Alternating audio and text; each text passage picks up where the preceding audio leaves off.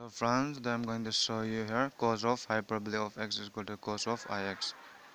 So firstly, let's define cos.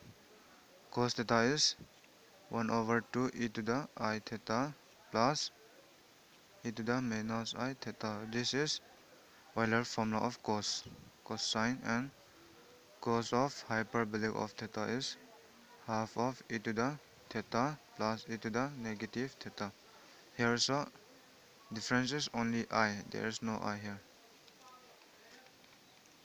So now put theta is equal to ix in this equation. So we have cos of ix is equal to half of e to the i into ix plus e to the minus i into ix which is half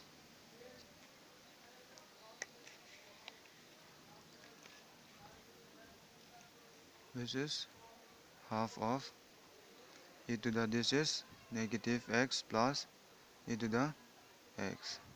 So this is same as this one. So cos of hyperbolic of x is same as cos of ix